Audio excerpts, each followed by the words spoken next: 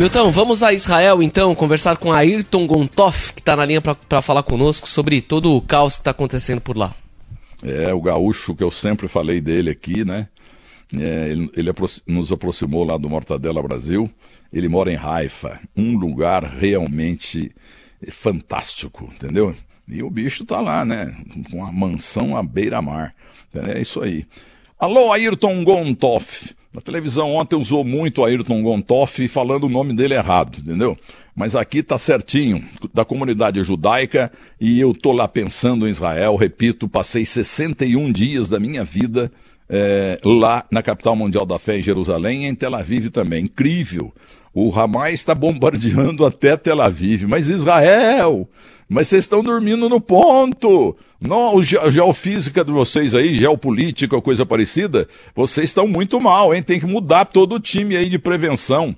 Mas insisto, eu insisto, Hamas cutucou a onça, não é com vara curta, é com um palito. Podem aguardar. Eu posso errar, é claro. Eu quero que termine a guerra hoje.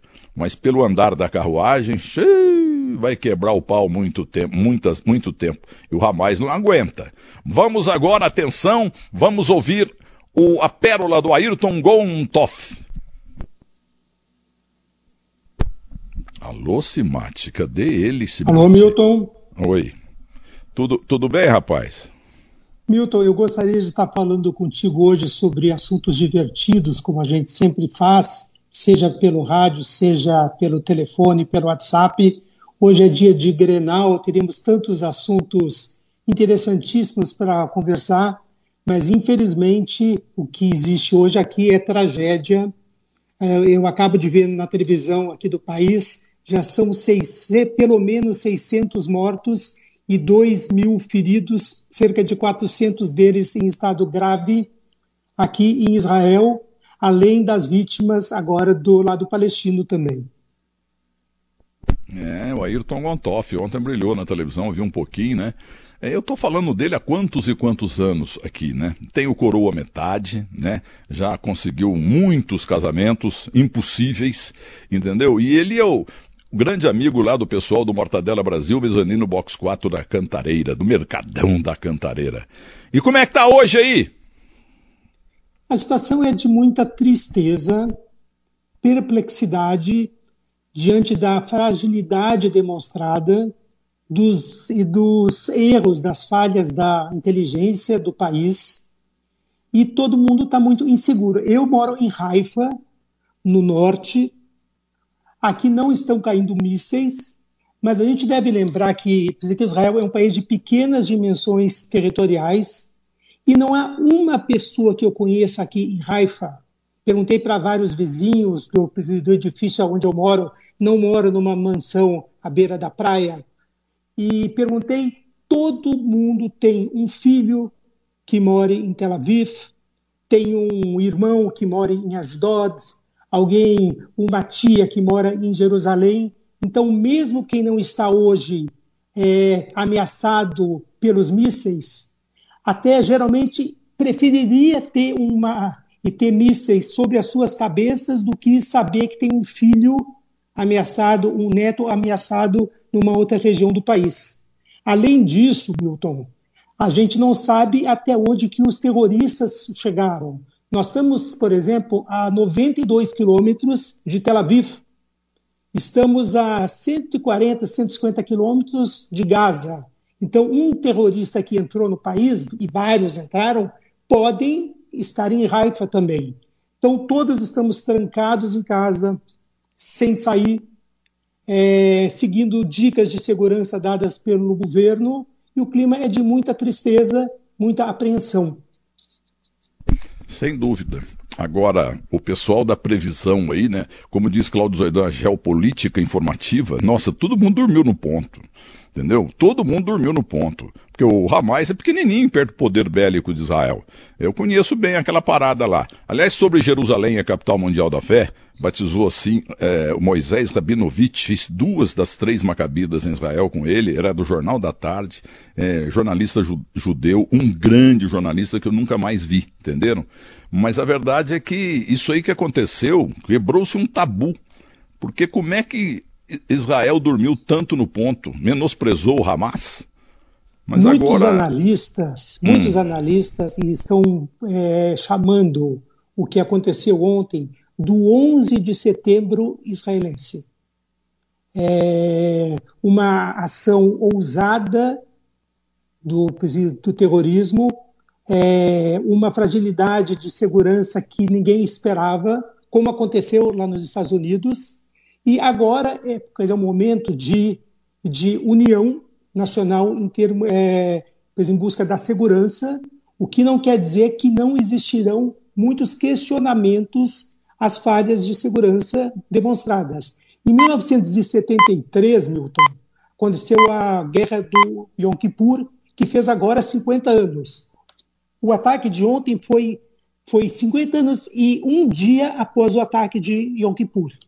A gente sabe que, que naquela guerra o governo trabalhista não acreditou nas informações recebidas das movimentações feitas pelos exércitos árabes, especialmente de Síria e Egito. Receberam as, as informações, mas acharam assim: não é possível que esses países que foram derrotados há cinco anos na Guerra dos Seis Dias agora tenham força para atacar Israel. Eles só estão em, em treinamento, fazendo mobilizações, mas não vão nos atacar. E no dia que estava praticamente toda a população parada, muita gente fazendo jejum, que é aquele dia do perdão, em que a população judaica jejua, é, houve o ataque e nunca existiram tantas mortes no país. E uma das causas pela queda do, do trabalhismo que governou Israel desde o começo, Israel foi fundada pela esquerda. E o trabalhismo esteve até 77, então, poucos anos depois, o Menachem Begin toma o poder muito motivado pelas falhas de segurança e de inteligência demonstradas. Por que, que eu estou dizendo isso? É, é muito provável que aos poucos, depois que a situação se acalmar, o governo do Bibi seja muito questionado sobre como não perceberam, como não identificaram, como não, é, como não existem agentes, espiões que pudessem perceber isso. É, essa não foi uma ação decidida ontem de manhã, vamos atacar Israel? Não. Há um planejamento muito grande, exigiu logística foi pensado, foi por mar, foi por terra e foi por ar, e pois, conseguiram, de fato, conquistas militares muito grandes. Sequestraram, até agora não se sabe quantas pessoas foram sequestradas, mas hum. se fala em mais de 100 e podem ser muito mais. Quando se fala de 600 mortos, são os que a gente já conhece, tem cerca de 400 feridos, muitas histórias ainda não chegaram, Existem ainda pessoas que têm terroristas dentro de casa, são números assustadores. Muito bem, eu falei ampassando, diria Cláudio Zaidan, a respeito de Jerusalém, a capital mundial da fé, segundo Moisés Rabinovich, e é verdade. Que é um grande então... jornalista, maravilhoso, maravilhoso. Ah, ele está tá por aí, correspondente... não? Não, hoje não está por aqui, mas continua na, inativa. Vou te passar o telefone dele depois, vale a pena uma entrevista com ele também e é um jornalista experiente, foi correspondente em vários países. Olha aqui, ó, então, sobre Jerusalém. A encrenca começou e começa e nunca vai terminar com Jerusalém, que os árabes chamam de Al-Quds, enquanto que os judeus chamam Jerusalém de Yerushalayim, a indivisível. Isso aí também não tem conserto, né? Isso aí vai até os anos 70 milhões, né? Milton, a gente acredita que tenha conserto sim. Países historicamente inimigos que guerrearam por 100 anos, hoje vivem em paz. Você tem, por exemplo, França e Inglaterra. Israel tem hoje relações diplomáticas com a Alemanha. Embora Israel não existisse durante a Segunda Guerra Mundial, a gente sabe da, da história do nazismo. Então, as, as relações podem mudar, Historicamente, o, o povo judeu foi muito melhor tratado nos países árabes do que na Europa cristã, onde aconteceram tantos massacres e tantas perseguições. Então, isso não é eterno, não. O que a gente acredita e busca é a solução por dois povos e dois estados. E o que causa muita tristeza é que, recentemente, apesar de, de existir uma, uma série de manifestações, algumas eu compareci também, é, defendendo a, a democracia no país ameaçada pelas reformas pretendidas pelo, pelo BIB, que, que é contra os juízes, uma série de questões. Apesar dessas manifestações, todo mundo estava eufórico com as possibilidades, com a possibilidade da paz com a Arábia Saudita. Durante muitos anos, nenhum israelense pôde visitar a Arábia Saudita, nenhuma delegação, nenhuma competição, nenhum congresso pôde ter qualquer presença de israelenses. E recentemente aconteceram vários encontros, congressos com israelenses participando e até com ministros participando. Então, cada vez mais a paz com, com a Arábia Saudita se aproximava, o que abre porta, assim, a Arábia Saudita disputa com o Irã a hegemonia do mundo islâmico. E onde são os lugares mais sagrados do islamismo? Na Arábia Saudita, é, Meca e Medina. Com a Arábia Saudita fazendo um, um acordo de paz, hoje, hoje Israel tem a paz com o Egito e com os países do Acordo de Abraão, que é que é Bahrein, Emirados Árabes Unidos, Marrocos e Sudão, que não é árabe, mas é muçulmano. Com a Arábia Saudita entrando, as chances de praticamente todo mundo árabe também selar o acordo de paz com Israel era muito grande. Com este ataque de ontem e que prossegue hoje, o que, que tende a acontecer? haverá uma retaliação, como já começou, muito forte de, de Israel, e pela primeira vez a comunidade internacional até é, identifica a legitimidade de uma resposta israelense, percebe claramente quem é o agressor, mas quando chegarem nos países árabes as imagens, e vão acontecer, de crianças palestinas morrendo, de mães sofrendo, toda mãe sofre, toda, toda família sofre, a guerra é, nenhum ser humano é pior ou melhor, todas as culturas têm suas aspirações. Quando chegarem essas cenas na opinião pública é, desses países árabes, será muito difícil um, um governante confirmar a paz com Israel, porque ele não vai se colocar contra a sua própria população. Então, infelizmente, a perspectiva de uma paz próxima, como se como, como havia quase certeza que ela ocorreria, ela vai ser jogada de fato para muitos anos, não para 70 mil anos, para 70 milhões de anos, mas talvez por, por muitos anos. É, aqui no Brasil, há muitos e muitos anos, né, fala-se, é, olha, esse é o jogo, jogo qualquer, entendeu? É, o jogo só tem perdedor, entendeu? É o jogo do perdeu, perdeu, entendeu? E agora está acontecendo isso, os dois lados perdendo entendeu? Ô Guilherme Simati, o que, que você queria saber, hein, do, do Ayrton Gontoff? Aliás, acabou o Grenal agora, tô vendo o tape do jogo, foi 11 a 1 para o Internacional. Viu, Seria a glória para o Colorado, Milton, porque o, pois, a maior goleada de um Grenal é 10 a 0 para o Grêmio e seria uma vingança colorada depois de tantos anos, mas esse é um assunto que podemos deixar para depois.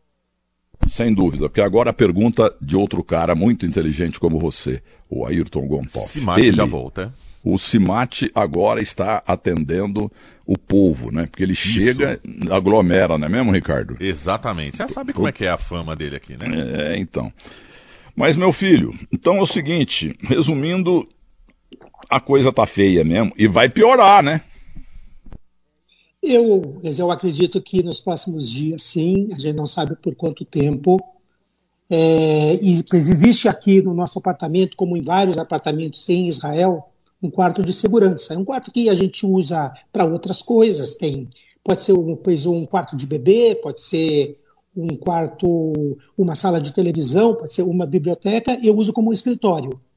É uma sala, é um quarto especial que tem um concreto armado, tem as portas de aço, tem as janelas de aço, e você usa para uma emergência, que a gente espera nunca utilizar.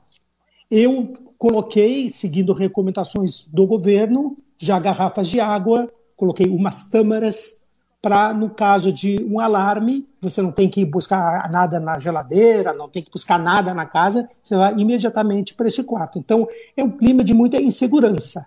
Tem aqui na frente, Milton, um, um parque infantil. Eu tenho uma, uma vista muito bonita. Moro numa área arborizada, tenho uma sacada muito gostosa. Mas eu confesso que todos os dias, das quatro da tarde às sete da noite, eu fecho a porta da sacada, que tem um isolamento acústico perfeito, porque me irrita profundamente o som das crianças gritando, dos pais chamando os filhos, dos cachorros latindo, é, de todas as crianças gritando: mãe, veja isso aqui. Então eu fecho e só volto a abrir pelas sete da noite quando se aquieta a praça. Ontem eu estava andando aqui na sala quando eu olhei lá para fora, não tinha uma pessoa nas ruas, parecia final de Copa do Mundo, não tinha ninguém.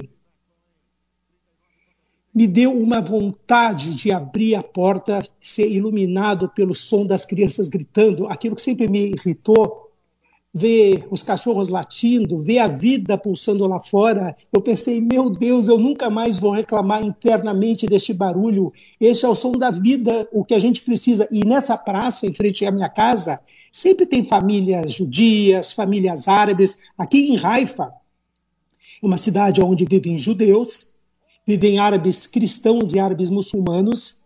Existem muitos drusos que moram em, em vilarejos próximos e trabalham em Haifa. Tem estudantes do mundo todo, tem duas universidades muito fortes, o Technion e a Universidade de Haifa.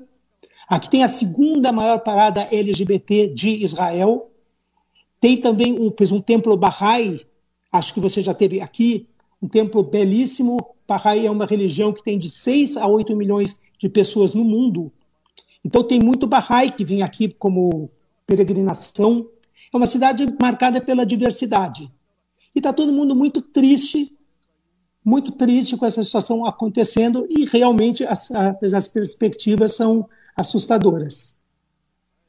Muito bem. Eu sou do da comunicação esportiva, a gente está sempre chutando, né? Chutando tal time vai ganhar, não sei de quanto e tal. Eu, aliás, eu estou numa fase boa, eu estou até apelando para o governo federal voltar com a loteria esportiva. Assim, finalmente eu tiro o pé do lodo, entendeu? Agora eu vou fazer uma pergunta para você e você vai responder em hebraico. E depois você traduz, é claro. Quando é que você calcula que termina essa guerra do perde-perde? Ani loyodea, ani mekaved, sheot meat e shalom. Eu realmente não sei, mas eu espero que logo, logo venha a paz. A gente não pode abdicar nunca da esperança da paz, do trabalho de buscar a paz, de, de encontrar interlocutores na outra parte. Ninguém, ninguém é melhor do que ninguém e todos os seres humanos, você tem que lembrar, têm essas aspirações de ter uma vida tranquila, de estar com seus filhos, de poder é, ter, ter o seu trabalho em paz, de amar, de ter amigos. Então, nunca vou deixar de acreditar, por mais que este momento seja de muita tristeza, muita tristeza. Muito bem, o Guilherme Simati vai te fazer uma última pergunta por hora, entendeu? A não ser que tenha bomba de novo aí. É, aliás, eu, eu, fiquei. Eu não sou, não entendo da área, né? Mas, pô, pela primeira vez na vida, desceram é, paraquedistas de metralhadora. Olha o que os caras não fazem por causa do ódio Israel e, e, os judeus e os árabes, né? Isso é coisa eterna. E a minha esposa, que está no céu seguramente, ela tem, tinha 50% de sangue árabe. Meus filhos todos também, da família Chame, entendeu? Família Chame que veio do Líbano, em QBA. Minha mulher teve lá. Então é isso. Simate, o que, que você quer saber? Não, primeiro mandar um abraço pro Ayrton, né, Milton? Imagino a dificuldade que, Obrigado, que todos estão passando aí, um clima de terror, né? Claro que desde ontem a Rádio Bandeirantes acompanhando passo a passo tudo o que acontece em Israel, nessa guerra terrível, nesses ataques terríveis. Eu queria saber do Ayrton, aí um personagem brasileiro, né? Qual foi a cena de maior terror que ele viveu aí, para ele descrever pra gente aqui da Rádio Bandeirantes? A gente está em, é, em Haifa, onde não acontecem até agora os ataques de mísseis, mas a gente tem visto muita coisa. famílias de, de, de kibbutzim, o kibbutz são uma espécie de, de vilas que eram agrícolas, hoje muitas têm indústrias já, é, onde os terroristas entraram e sequestraram ou mataram todas as crianças, é, cenas de pessoas que abriram a porta para soldados de, de Israel, e quando abriram não eram soldados, eram terroristas disfarçados de soldados e todas foram mortas. São muitas cenas de terror né? É, mas a gente não vivenciou aqui nenhuma, porque Raifa, por enquanto, está, está só no clima dessa guerra, todo mundo sofrendo pelos parentes, pelo país, mas aqui não aconteceu nada terrível, felizmente. Ô Gontoff, então agora é isso. Esse, é, esse jogo aí é perde-perde, entendeu? Os dois. Agora, o serviço de inteligência de Israel, que é considerado o mais perfeito do mundo, nossa, pisou na bola, fez 253 gols contra. São coisas falando que em bola e falando em gol contra, Milton, peço para ti que no próximo Grenal fique este compromisso, o Guilherme Simati ligue para mim e a gente fale sobre futebol gaúcho, sobre rivalidade sadia. Sabe que ontem, Milton, eu acordei, Fiz o café da manhã da minha esposa, fiz uma mesa linda, depois eu te mando a foto. Pensei assim, vou despertá-la, vamos tomar um café, vamos passear de mãos dadas pelas ruas aprazíveis de Haifa, vou voltar para casa, fazer meu chimarrão, começar a escrever sobre, sobre Grenal, tirar muito sarro dos colorados, sobre a eliminação, sobre uma série de coisas, e domingo de manhã eu posto um outro vídeo dizendo assim: sabe por que, que eu adoro humilhar vocês, tirar sarro de vocês, colorados? Porque vocês são o time que eu mais respeito, porque vocês são o time que tem a mesma grandeza do meu. Rivalidade é, quer dizer, é isso, é esporte. Né? Como diz o Milton Neves, futebol é a coisa mais importante das coisas sem importância. E quando eu tinha pensado nisso, a gente estava tomando café, me telefona um amigo meu, que tinha ido até Eilat, no sul do país, para ir para o Sinai. Ele ia para o Egito com a família para passear. E ele me diz assim: Estou saindo de Eilat. E eu falei assim: Ué, você vai para o Egito direto? Ele, claro que não. Eu estou voltando. Eu falei: Voltando por quê? Mas tu não está sabendo? Liga a televisão, começou uma guerra. Daí eu ligo a televisão, vejo esse horror. E claro que a gente terminou rapidamente esse nosso café da manhã que era romântico. É, não fomos passear de mãos dadas pela rua de Raifa, pelas ruas de Raifa. Fiquei pensando neste amigo voltando desesperado pelo deserto do Negev, exposto. Você está no meio de uma estrada, sabendo que um míssil pode cair na sua cabeça, pode terroristas aparecer. E passamos o dia, eu nem dormi, assistindo a televisão, que, como eu te disse, agora está aparecendo aqui pelo menos 600 mortos e 2 mil feridos. Fala, Semati. Ayrton, você conversou com alguma pessoa que sofreu alguma consequência desses ataques, que estava próximo, algum brasileiro que estava próximo? É, tem algum relato nesse sentido de alguma pessoa próxima a você? Eu telefonei para todo, para vários brasileiros que eu conheço aqui. Tem uma rede de solidariedade muito bacana, não só dos brasileiros que vivem aqui, mas dos brasileiros que estão aí. É, pode parecer que são só palavras, assim, cada mensagem que a gente recebeu, e foram assim, talvez 300, 400, de pessoas brasileiras dizendo assim: como vocês estão? Vocês precisam de algo? Estamos orando por vocês. Gente que mora em São Paulo, Porto Alegre, Rio. Cada, cada, cada mensagem causa um efeito muito bacana no nosso coração. É difícil estar longe do país, é difícil estar longe da família, longe dos amigos. E também aqui a gente procura falar com os brasileiros para saber se eles estão bem, se eles precisam de algo.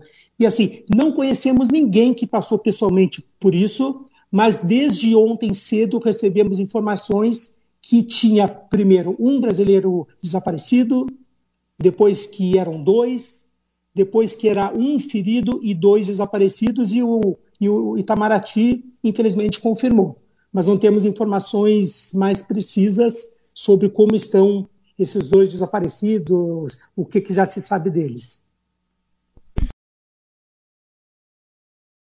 todo mundo perguntando. Qual é o teu palpite? Para mim, precisa terminar esse troço aqui daqui dois dias, mano. Vai morrer muita gente dos dois lados. Sim, sim. Infelizmente. Infelizmente. Pois não. O Ayrton Gontoff, gremista fanático, né? É. Você, é, você falou que... certo, Milton. Você falou certo. Gremista é fanático, Colorado é doente. Ih, rapaz. Nosso colega de Bandeirantes, Felipe Vieira, não vai nem dormir uma semana depois dessa. Um abraço para você, Gontoff. Até mais, hein? Abraço, obrigado pela solidariedade, obrigado pela cobertura é, que a Band tem feito. E qualquer coisa, estamos aqui para informar e também para tranquilizar os amigos brasileiros que estão preocupados com todo mundo aqui em Israel. Muito obrigado. Portanto, gente, tá aí o gaúcho Ayrton Gontoff, fanático torcedor do Grêmio Futebol Porto Alegrense. Eu estou citando ele há muitos anos, né? Muita gente pergunta na, na internet, não ele existe? Lógico que existe, tá aí falando, entendeu? E me roubaram você ontem na televisão, viu? Fiquei com ciúmes. Você tinha que falar primeiro com a Bandeirantes. um abraço para aí. Eu falei com a Rádio Bandeirantes ontem com o Ronald Jimenez, o grande Ronald Jimenez. O grande corintiano Ronald Jimenez. Ronald palmeirense, também fanático. Grande, Grande abraço, abraço, e até mais, hein? Olha, Obrigado. se tiver eh, mais umas puletas aí, você eh, liga para nós aqui, porque tem muito tá brasileiro aí. Tá bom? Espero não informar, não ter nada para informar, mas infelizmente eu acredito que terei que ligar algumas vezes para vocês. Muito obrigado. Ayrton Gontoff, pessoal da outra televisão, precisa aprender, precisa aprender a falar o nome do homem, pô. Tô há 200 anos falando certo. Aí vem a televisão e fala tudo errado. O nome, não o trabalho. o trabalho, todo mundo tá muito bom, né? Bandeirantes então, Bandeirantes então, Bandeirantes então, Bandeirantes